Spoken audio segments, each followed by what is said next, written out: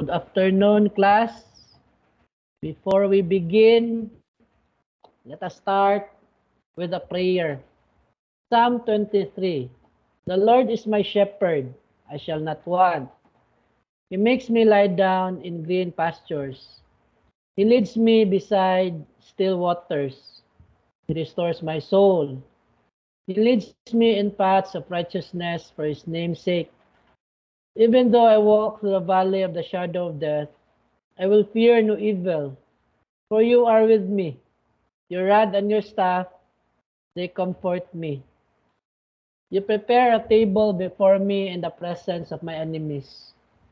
You anoint my head with oil. My cup overflows. Surely, goodness and mercy shall follow me all the days of my life, and I shall dwell in the house of the Lord forever. Amen and amen.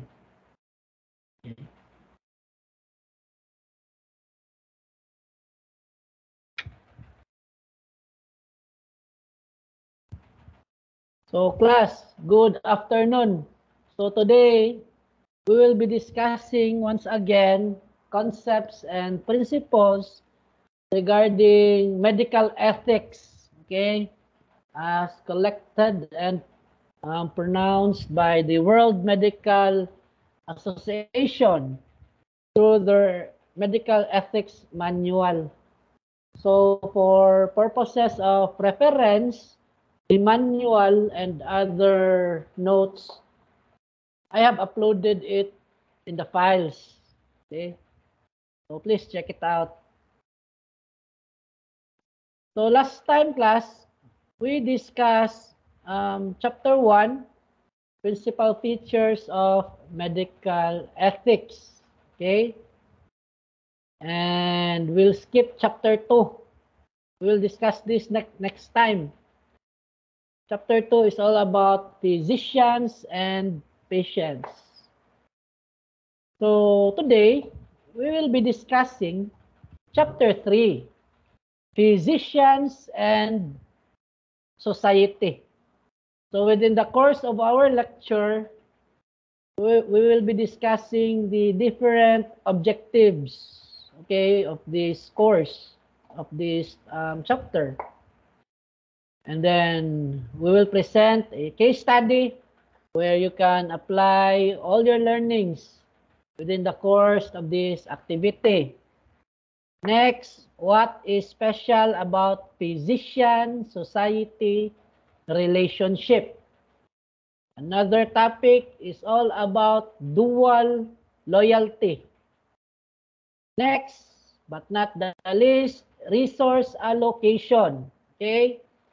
Um, for example, here in the Philippines, um, due to the pandemic, um, allocation of uh, the medicine for COVID-19 is not that very high, especially to far-flung areas.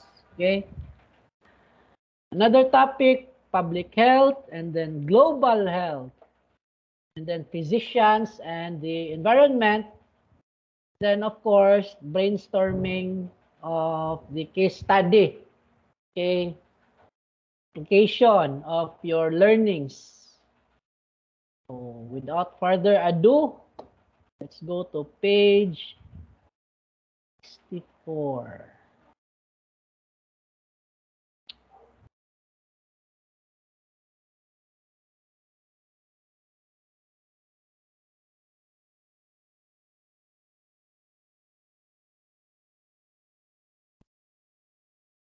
Okay. Chapter 3. Physicians and society. So the objective of this lecture for today class is for the students to recognize conflicts between the physician's obligations to patients and to society and identify the reasons for said conflict.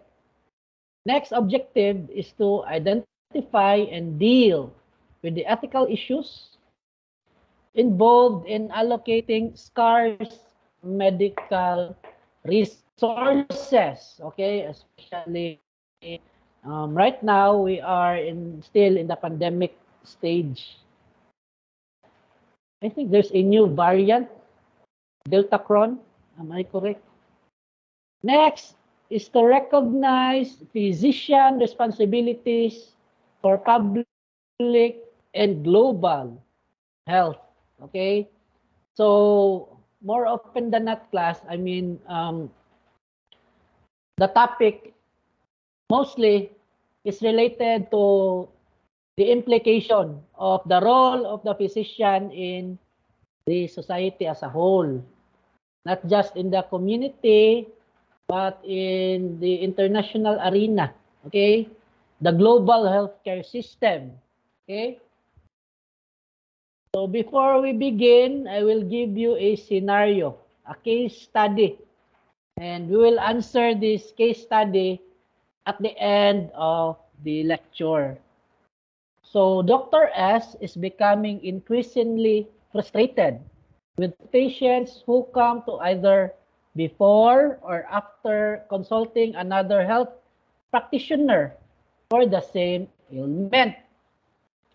She considers this to be a waste of health resources as well as counterproductive for the health of the patients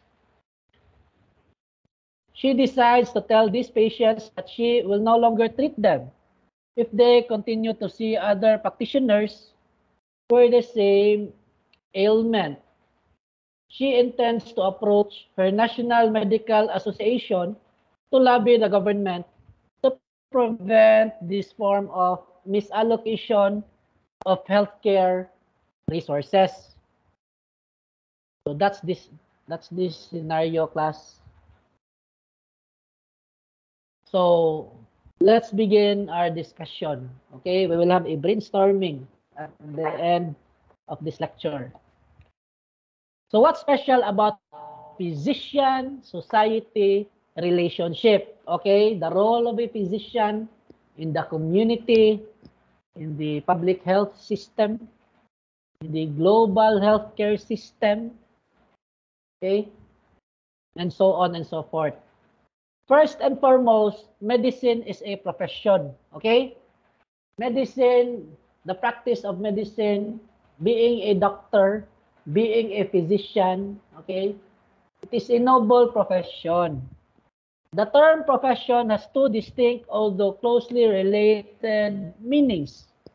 First, it is an occupation. Okay, so when you say occupation class, means that it is a source of income, is a livelihood that is characterized by dedication to the well-being of others, high moral standards, a body of knowledge and skills, and a high level of autonomy, okay, or freedom. Because in a healthcare system class, example, in a hospital hospital setting, The doctor is part of a healthcare team. Okay, he is the leader. You are the leader.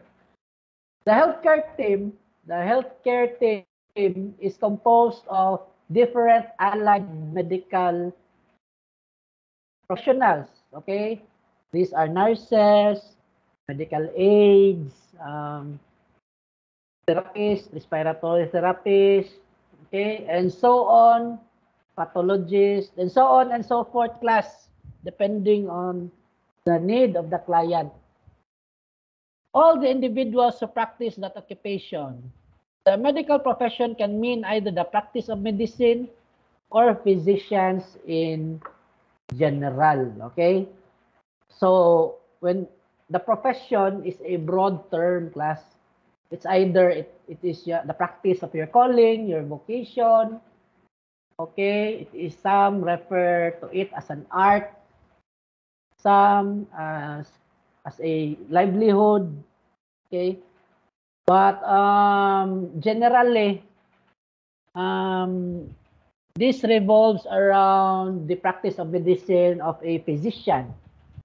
So medical professionalism in, involves not just relationship between a physician and a patient but um, It also includes relationship with your colleagues and other healthcare professional, okay?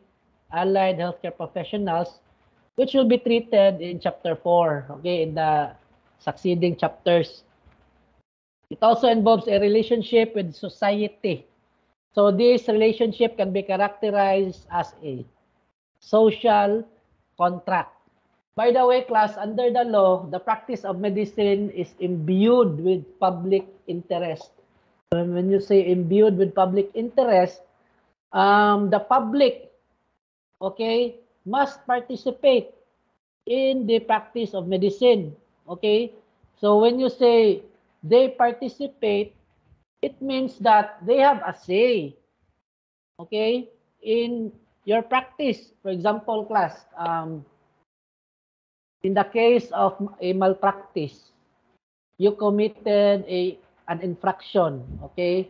Medical negligence. So, of course, if you committed an infraction, automatically that the three-pronged liability of the physician attaches. So what are these? First is the administrative liability. So either your license to, pra to practice will be suspended, revoked. Okay? Um, next, criminal liability. Okay, you will be imprisoned, especially when the patient dies. Lastly, civil liability where you will be able to pay the patient in a form of damages, okay, monetary obligations. For example, the death of the patient um, actual damages is 5 million because the patient is the breadwinner of the family. Okay? So it created an economic loss to the family in the amount of 5 million. Another form of damages, moral damages, the death, your your your malpractice has caused sleepless nights, wounded feelings, social humiliation, severe anxiety to the kids or to the family members. So again, in order to compensate the sleepless nights, you will for you will pay moral damages in the amount of 10 million. Okay, so there are many types of damages class depending on the situation. Okay. So these are just matters of reading class. Medicine is today, more than ever before, a social rather than a strictly individual activity. Earlier class, um, I discussed the relationship between patients and doctors, okay? Their relationship is governed um, by in a fiduciary character. When you say fiduciary, it means that it is based on trust and confidence. So this fiduciary relationship is protected by law. So if you breach this relationship, it means that any information divulged to you, you cannot just divulge it to third parties. You are the doctor. Okay? So this is protected by law, especially right now that we have a data privacy law. And even before, before the advent of the data privacy, it's already protected. It is a privileged communication. So if you divulge, then of course, the three-pronged liability again will attach. Okay? So if you are doctors, don't think too much that you are invisible invincible, okay, untouchable, because the prosecuting arm of the law is always there, it will reach you, will tear you, okay? So be careful. Always be cautious, okay? So these are just matters of reading class. So the doctrines in this topic are also enshrined in the Declaration of the Rights of the Patients. It simply means that whenever legislation, okay, so when you say legislation, um, rule making, the rulemaking body, government action or any other administration or institution denies patients' rights. Physicians should pursue appropriate means to assure or to restore them. Physicians are also called upon to play a major role in the allocation of society's scarce healthcare resources. And sometimes they have a duty to prevent patients from accessing services to which they are not entitled. Okay? So physician's class has certain rights and at the same time has certain obligation to your patient and to society. In the same vein, patients have their own rights and at the same time obligation okay to the physician. So this relationship class is dynamic. Unlike before where the the approach is more traditional where where physicians um, takes control of everything okay? So right now there is a paradigm shift um, relationship between physicians and doctors are now dynamic. So this only uh, this means that um, even the patients has the right to participate in their treatment regimen. Okay, they can decide whether to pursue it or not, or recommend or find second opinion, and so on and so forth. Okay. Now, let's move on to dual loyalty. When physicians have responsibilities and are accountable both to their patient and to a third party, and when, and when these responsibilities and accountabilities are incompatible, they find themselves in a situation of dual loyalty. Okay? But however, class, bear in mind that your priority should be the patient. Okay? So this um, scenario is very common if um, if you are a physician engaged in a business enterprise with pharmaceutical companies, of course. Um, pharmaceutical companies pay physician in order to use their products. Okay. However, class always think what is the best um, interest of your patient. Okay your your patient should be the primordial consideration.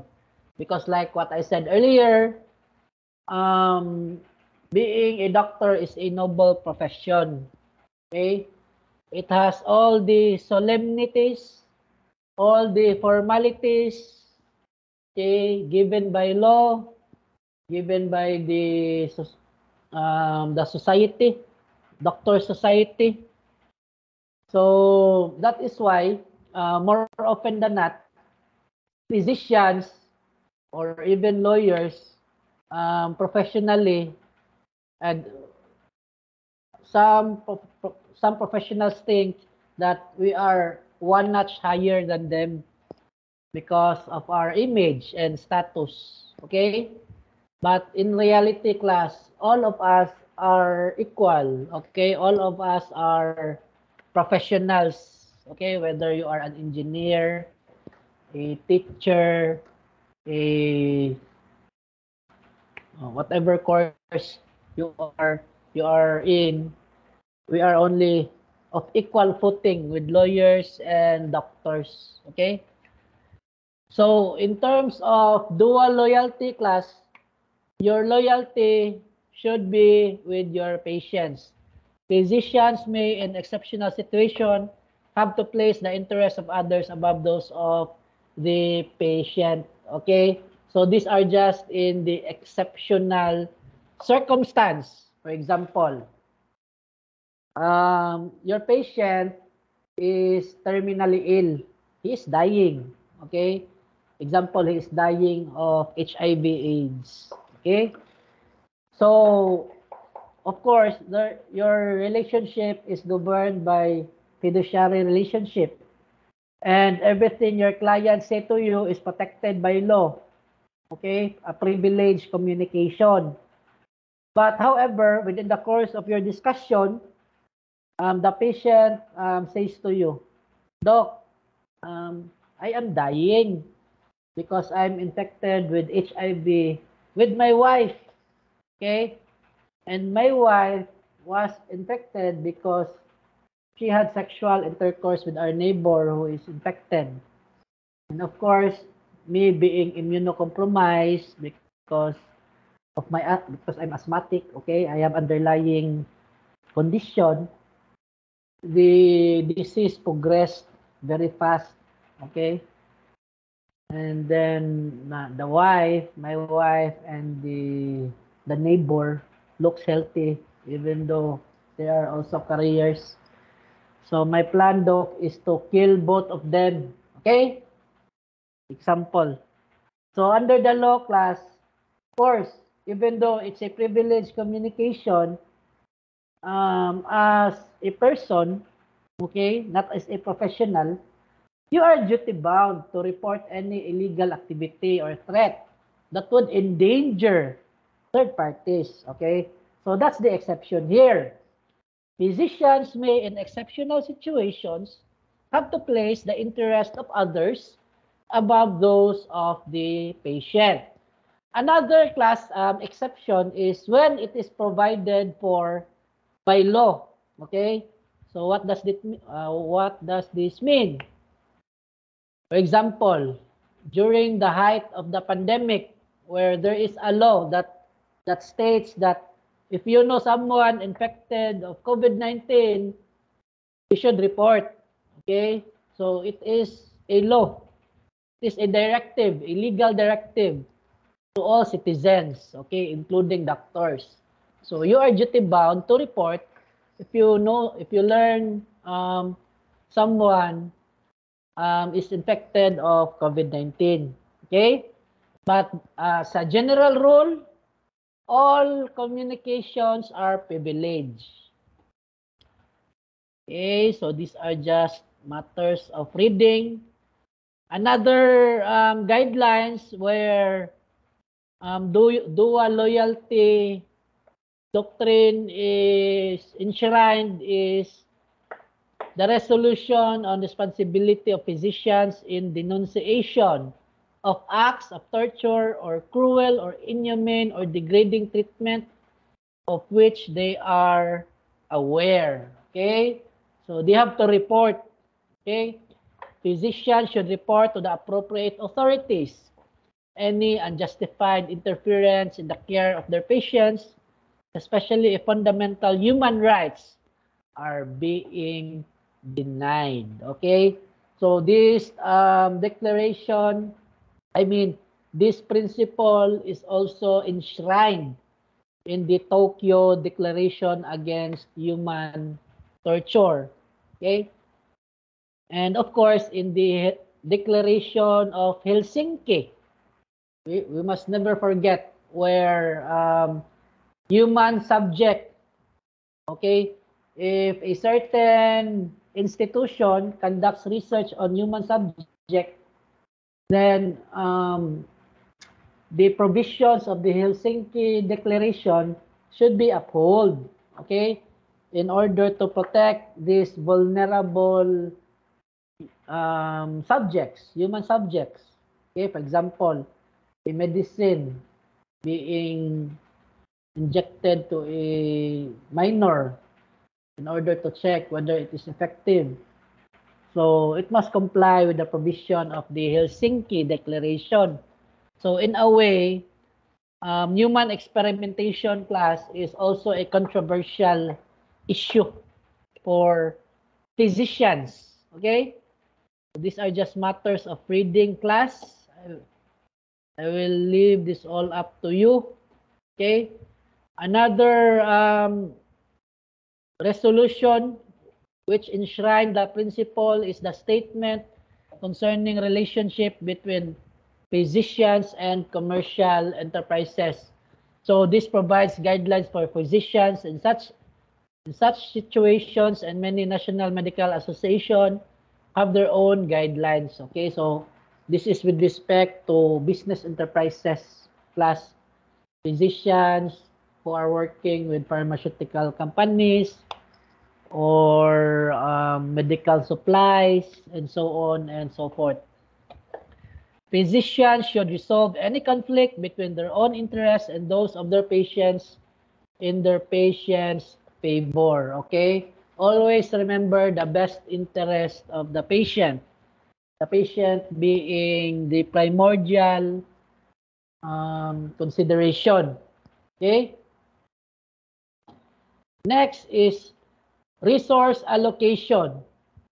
In every country in the world, including the richest ones, there is an already wide and steadily increasing gap between the needs and desires for healthcare services and the availability, availability of resources to provide these services. This gap requires that existing resources be rationed in some manner. Healthcare rationing or resource allocation as it is more commonly referred to, takes place at three levels, okay? So if you are the local leader class, especially when you become doctors, of course, naturally, you become a leader, people will look up to you because you have moral ascendancy over um, over the public because you are the medical expert. So as a leader, as as a doctor, you should bear in mind how to allocate um, medical resources, especially scarce medical resources. Classic example class is this pandemic, vaccination, and even um, medication. Remember the antivirals which were used to treat COVID um, were very expensive. One vial would more or less cost, I think, 80 to 100,000, one vial of anti antiviral. And I heard that this this antiviral is used for horses or for animals. Okay, imagine a, a medicine for animals being injected to a person because the doctors believe that it would not cure but lessen or fight the the virus or lessen the symptoms okay? So as a physician you should be smart okay? It is incumbent upon you time and again i would remind my students to always take note of the three aspects that is within that, that is within your control first is the skill improve your skill. Okay? You watch um, YouTube, you buy um, materials that would help you in your skill. For example, very simple, uh, taking of BP. Okay? Thermometer. Okay? So, improve your skill. It is it is important that as doctors, you have the basic skills of a competent doctor. And it is with, it is within your control. It is within your initiative. Okay, on how to improve your skill. Another is your knowledge. Okay, improve your knowledge because not um, there is no hard and fast rule in medicine. When you say hard and fast rule, there is no permanent standard. Medicine is always changing. Okay, maybe five years from now, paracetamol, there will be new another medicine and then paracetamol will be useless. Okay? So always have, always study, um, have um, access to seminars, continuing education materials, and so on and so forth. Lastly is your attitude. Okay? So these three class, your skill, your knowledge, and your attitude, you must work with it every day, 24 hours a day, 7 days a week, so that when you become doctors, you will be you will be a competent doctor. Okay? So, how to ration scarce resources. There are there are three levels. First, at the highest level, which is the macro level, governments decides how much of the overall budget should be allocated to health, which healthcare expenses will be provided at no charge, and which will require payment either directly from patients or from their medical insurance plans. Within the health budget, how much will go to remuneration for physicians, nurses, and other healthcare workers, to capital and operating expenses for hospitals and other institutions, to research, to education of health professionals, to treatment of specific conditions such as tuberculosis or AIDS, and so on. Okay? So at, the macro level class, you are the policy maker. Okay? For example, in the Department of Health, being the um, the ones who handles public health in the Philippines. So you are part of the government. So who is our Secretary of Health? Duque. Okay? I think he is a doctor. Okay? So in your level, if you are in the government, if you are into public health, you must um, consider many factors, the population, the budget, okay, the number of um, vul- vulnerable population, okay, many factors to consider in, our, in order to ration or allocate these um, medical resources, okay. Classic example again is the pandemic, okay, the COVID-19, where um, before um, densely populated areas, uh, the vaccines has high. There are many vaccines in those areas compared to the far-flung because they need to control the densely populated area first. Okay, that's why there was lockdowns class. Next is the meso level at the institutional level which includes hospitals, clinics, healthcare agencies, and etc. Authorities decide which services to provide, how much to spend on staff equipment, security, other operating expenses, renovation, expansions, and etc. Okay? So, um, more often than not, you are you are the doctor, you are the administrator of this facility. Like, for example, you are the hospital administrator, and so on and so forth. So it, you are called to allocate certain um, resources once again. Lastly is the micro level, okay, at the individual patient level. Healthcare providers, especially physicians, decide what test should be ordered. Okay, this is very important class, especially when your patient is um, has no money and only relies on the insurance for payment. Okay, abroad class in the states, for example, um, you are sick and the insurance company you, you are sick, you have no money, and the insurance company will only give three days coverage. Okay, so as a doctor, you must perform everything within three days class. You should. Because if these three days will lapse, it will be the patient who will pay. Okay? And it would be an injustice class if you you you know um, work in connivance with insurance companies because this is the this is like a scam okay, with the doctors and the insurance. So not all class, but it is a common practice. That's why um, as a doctor, you must be guided by ethics, okay? So decide what tests should be ordered. Um, order only useful tests. Do not um, order many tests just to enrich the hospital so that you can have a higher income. That's not that's not good.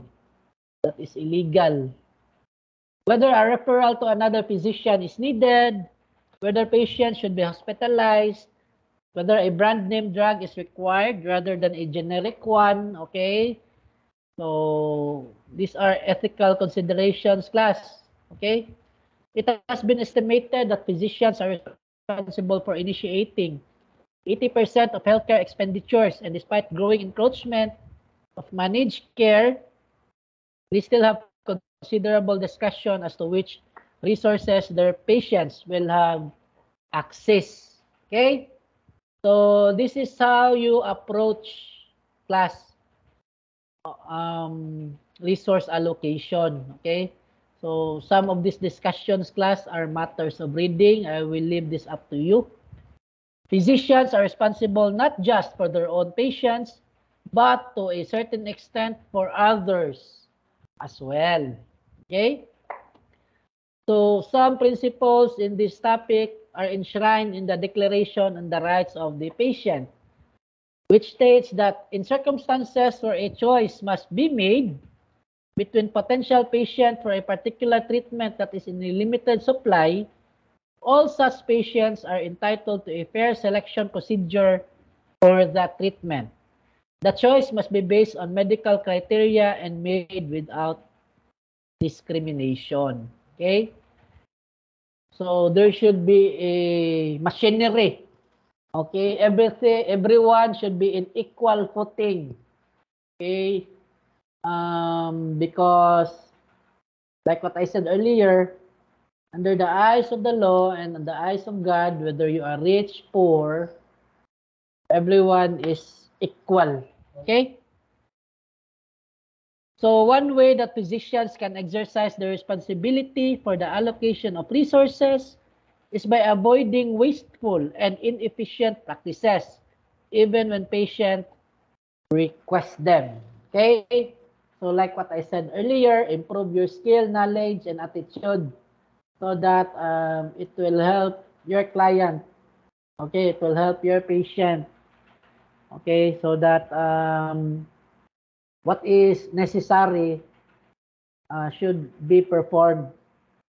Because some doctors, they do redundant um, practices just to earn money, earn income. Okay, they do many tests because they own the laboratory, and so on and so forth. Okay.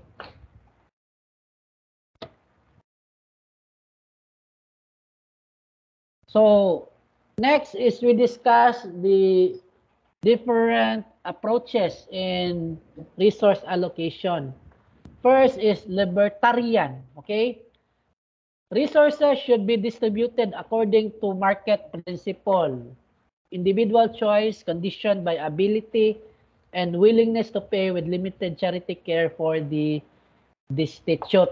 Okay, so this approach contemplates that um, the ability to pay of the patient is considered because of course um, resources so these resources these products also earns income okay so if it is given for free So of course, the stakeholders will react.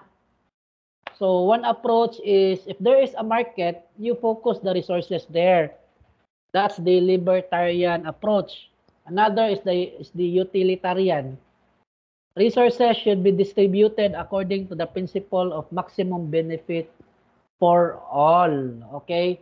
So to the greatest benefit, um, resources should be allocated in that area. For example, like what I said earlier, in Manila, where the densely, where dense population is present, of course, all the tests, okay, COVID test, COVID medicine, COVID vaccine, is focused there in order to prevent transmission because of their place which is congested.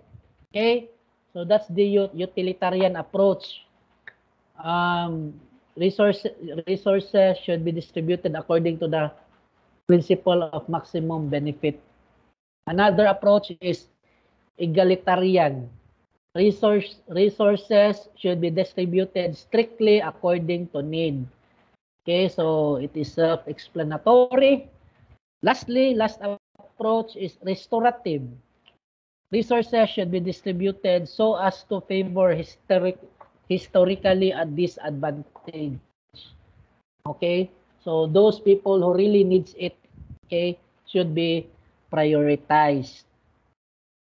So these principles, once again, are enshrined in the statement on access to healthcare, which states that no one who needs care should be denied it because of the inability to pay. Okay? So these are just matters of reading. So choice will depend on the physician's own personal morality as well as socio-political environment in which he or she practices. And then physicians have responsibility to advocate for expansion of these resources where they are insufficient to meet patient needs. Okay? So I think class, due to lack of material time, we will end there. And next time, we will discuss um, public health. Okay? So, class, do you have any questions or clarifications? None? Mr. Abdul? So, if there is none, class, I will end our discussion. I will end the recording. Thank you, class. See you next time. Bye. Thank you, attorney. Thank you, Doc.